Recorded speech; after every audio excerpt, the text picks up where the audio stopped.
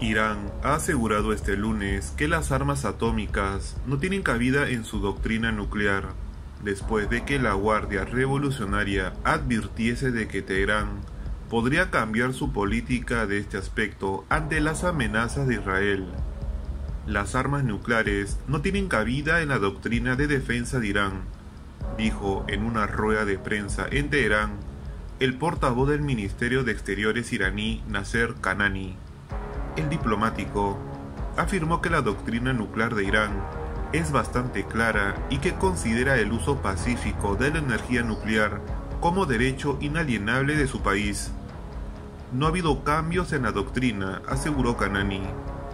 Continuaremos nuestra actividad nuclear con fines pacíficos, y estas actividades continuarán dentro del marco de la OIEA, Organización Internacional de Energía Atómica, las salvaguardias y el Tratado de No Proliferación de Armas, aseguró Kanani.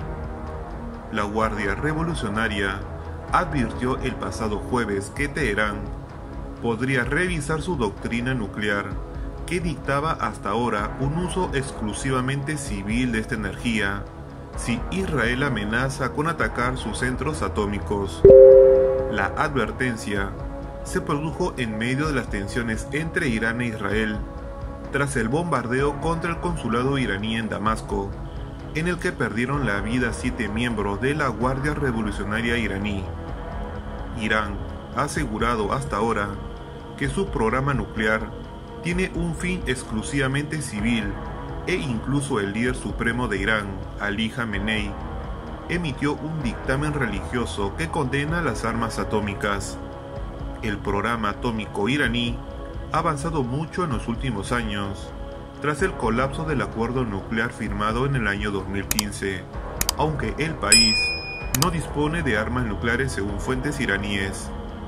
Según el más reciente informe de la Organización Internacional de Energía Atómica, emitido en el mes de febrero pasado en Viena, Irán produce uranio altamente enriquecido hasta el 60%,